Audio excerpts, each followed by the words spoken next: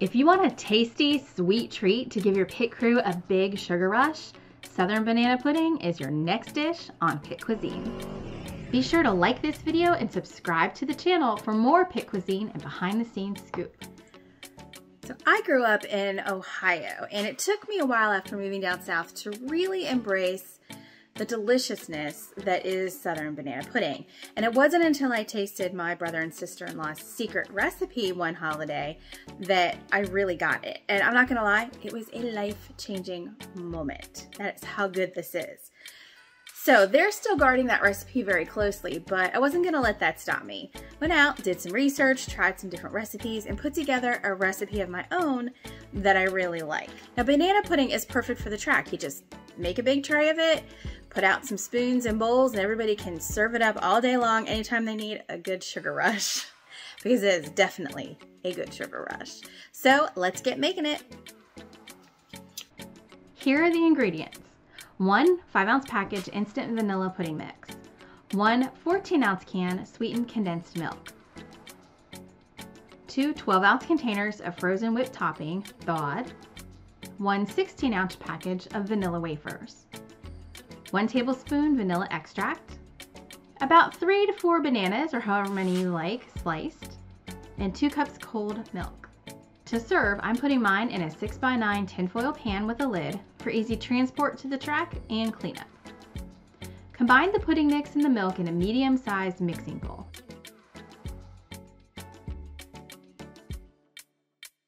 Mix for two minutes.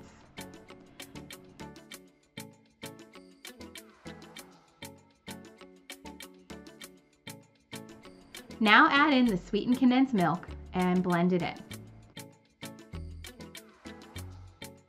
Mix in the vanilla extract.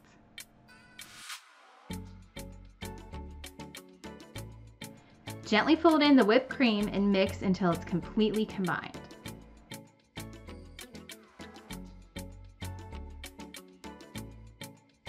Now slice your bananas. You can put in as few bananas or as many bananas as you like. Line your pan with vanilla wafers. Now again, you can use as many or as few as you like. I try to get a pretty full layer across the bottom of the pan. Some people put them up around the sides too. The banana slices go next.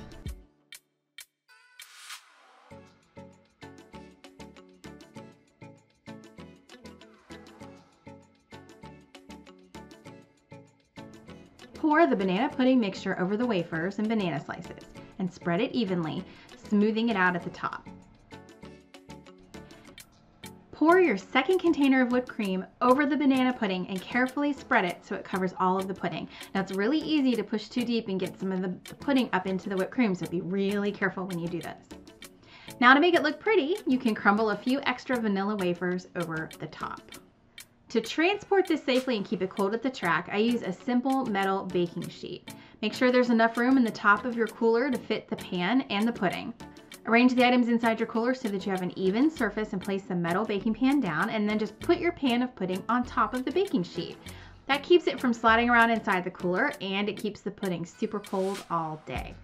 Now let me know how this one works out for you and your pit crew. Be sure to like this video and subscribe to my channel for more pit cuisine and behind the scenes scoop.